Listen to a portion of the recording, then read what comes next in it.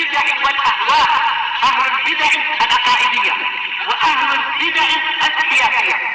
أنا أقول بيننا وبينكم بيننا وبينكم الكتب. كان فيكون البدع بيننا وبينكم بسم الله الرحمن الرحيم. الحمد لله والصلاة والسلام على رسول الله وعلى آله وصحبه ومن والاه ما بعد. Kita lanjutkan bacaan terhadap هذا ulum atul i'tiqad yang disyarah oleh الشيخ Shalal Fauzan asbahullah. Simak baik-baik kitabnya. Pada pertemuan yang sebelumnya kita sudah bahas seputar apa? Seputar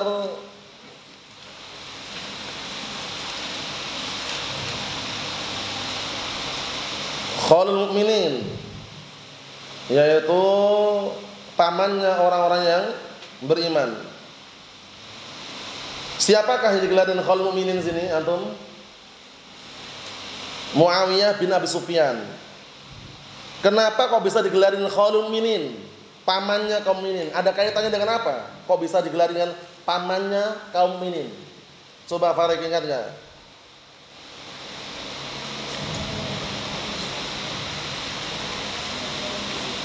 Karena Muawiyah bin Abi Sufyan saudaranya Ummi Habibah. Sedangkan Ummi Habibah siapa? Ummil Ummil Mukminin, istri Rasulullah SAW. Saudara istri namanya pada bahasa Arab? Khalun. Saudari istri Khalatun. Nah, Muawiyah bin Abi Sufyan saudaranya Ummu Habibah. Ummu Habibah namanya Romlah, Romlah bintu Abi Sufyan. Mahum? Ada kaitannya berarti ya? Romlah bintu Abi Sufyan ummul mukminin.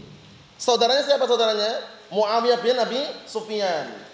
Saudara ibu berarti apa? Khalun. Makanya Muawiyah bin Abi Sufyan digelari Khalul mukminin. Pamannya kaum mukminin. Bisa dipahami? Dalam hal apa ini? Menghormatinya dan memuliakannya. Bisa dipahami insyaallah ya? Ada kaitannya. Jadi jangan bingung. Kok bisa paman ya? Eh? Ada salahnya nggak antum ngomong karena teman antum mana punya paman? Siapa namanya? Muawiyah bin Abi Sufyan. Paman. Boleh nggak ngomong itu secara global itu? Hah? Secara global boleh nggak kita ngomong Muawiyah bin Abi Sufyan itu paman kita? Nggak ada larangannya, yang penting tahu alasannya gitu loh. Paham ya? Nah, kenapa demikian? Karena Muawiyah bin Abi Sufyan itu saudaranya Ummi Habibah. Sedangkan Ummu Habibah istrinya siapa? istrinya Rasulullah SAW, Romlah bintu Abi Sufyan. Dan kita lewati berikutnya. Qala Asy-Syaikh Shalal Fauzan asbahullah. Wa min fadailihi radhiyallahu anhu termasuk keutamaan Muawiyah bin Abi Sufyan radhiyallahu anhu, anna Nabiy sallallahu alaihi wa ala alihi wasallam ittakhadahu katiban wahyi.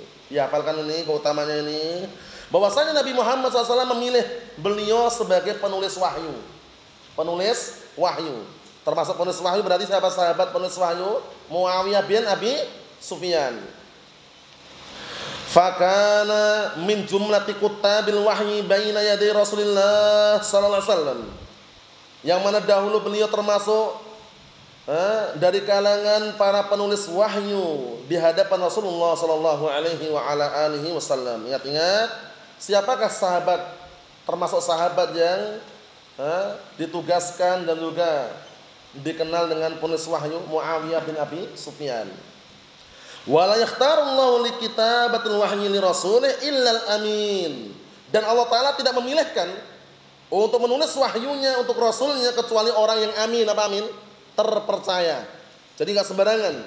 Lihat ini, Muawiyah bin Abi Sufyan adalah orang yang percaya, tapi Syiah Rafidah membencinya. Syiah Rafidah itu bencinya luar biasa terhadap Muawiyah bin Abi Sufyan. Alasannya apa kok benci alasannya? Menurut mereka. Apa? Karena merebut jabatannya Ali bin Abi Thalib. Bayangkan itu. Begal jabatannya Ali bin Abi Thalib menurut mereka. Allahul musta'an. Padahal tidak benar. Nanti kita lewati nanti, enggak benar itu. Tuduhan yang palsu. Fahuwa min kutabil wahyi radhiyallahu anhu maka beliau termasuk penulis termasuk dari kalangan para penulis penulis wahyu radhiyallahu anhu. Waqad jahada ma'a Rasulillah sallallahu Perhatikan ini, sungguh beliau telah berjihad bersama Rasulullah sallallahu wa tawalla al-imarah 'ala Syam fi ahdi Umar bin Khattab anhu dan beliau pernah berkuasa diberi kekuasaan kepemimpinan di Syam di zamannya Umar Khattab Nah, pertanyaannya, Syam ini sekarang daerah mana? Syam ini mencakup mana saja Syam ini?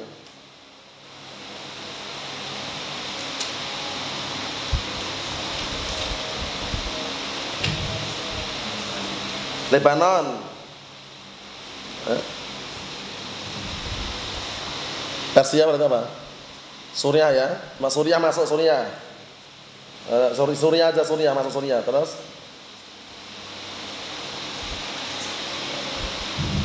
Lebanon, Suriah terus Hah? Apa? Jordania. Berarti apa Jordania itu? Urdun ya. Ya Urdun. Ke mana lagi? Palestina, masuk Palestina. Sebutkan para ulama itu untuk sekarang ini Syam Arabnya itu tadi. Suriah, Palestina, Lebanon, kemudian Jordania tadi itu. Urdun. Nah. Kita lihat sini barakallahu fikum dikit lagi perhatikan baik-baik. Walamma hasalatil fitnah fi khilafati Ali anhu.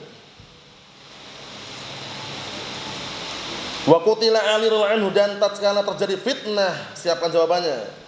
Dan tatkala terjadi fitnah dalam eh, pada masa kepemimpinan Ali bin Abi Thalib anhu dan sampai Ali bin Abi Thalib dibunuh oleh seseorang eh, siapakah pembunuhnya Ali bin Abi Thalib anhu? Antum.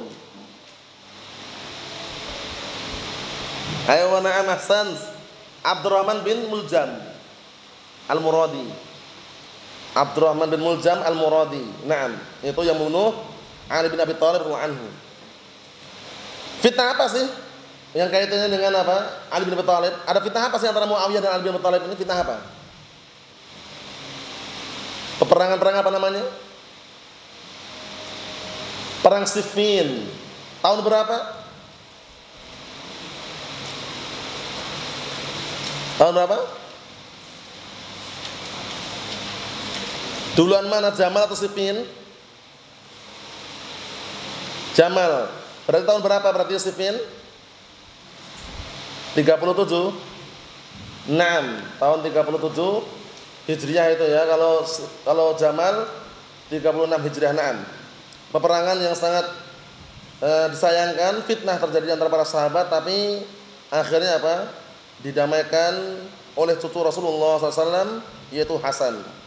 Wa buya Hasan bin Ali man min ba'di abi. Kemudian dibaiatlah Hasan bin Ali setelah apa? Bapaknya meninggal. Tragedinya waktu itu pada tahun 41 Hijriah.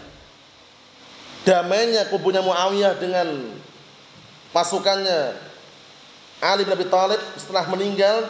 Kemudian apa? Dipegang siapa? Hasan bin Ali. Akhirnya beliau tanazul ngalah.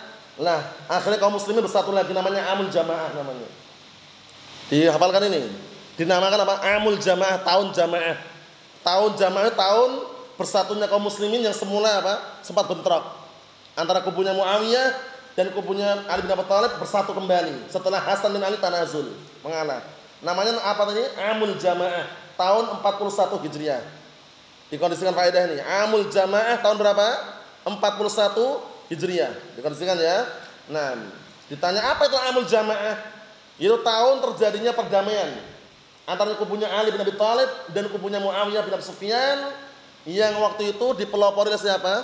Di antara pelopornya yang akhirnya jadi damai Hasan bin Ali, tanazul. Tanazulnya bukan karena kalah, menjaga agar tidak terjadi pertumpahan darah. Mafhum tahun 41 Hijriah. Naam. Kita ambil dikit lagi perhatikan.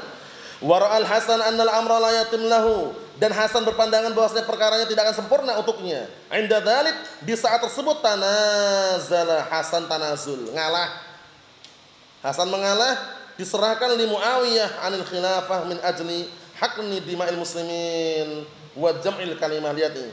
Dalam rangka untuk menjaga darah kaum muslimin dan mempersatukan kalimat kaum muslimin. Hasan ngalah. Diserahkan jabatannya kepada siapa? Muawiyah bin Abi Sufyan. Nah, hari tersebut, tahun tersebut dinamakan Amul Jamaah. Tahun berapa tadi? 41 Hijriah karena terbunuhnya Nama Ali bin Abi Thalib waktu itu kurang lebihnya 40 Hijriah. Paham ya? Setelah itu enggak lama kemudian melihat keadaan semakin memburuk, ternyata apa? Telah datang sabda Rasulullah SAW bahwasanya Hasan itu yang akan menjadi apa? Eh, menjadi jembatan damainya kubunya Ali bin Abi Thalib dan kubunya Muawiyah bin Abi Sufyan. Wallahu a'lam bissawab. Wassallallahu alaihi wasallam. Walhamdulillahirabbil alamin.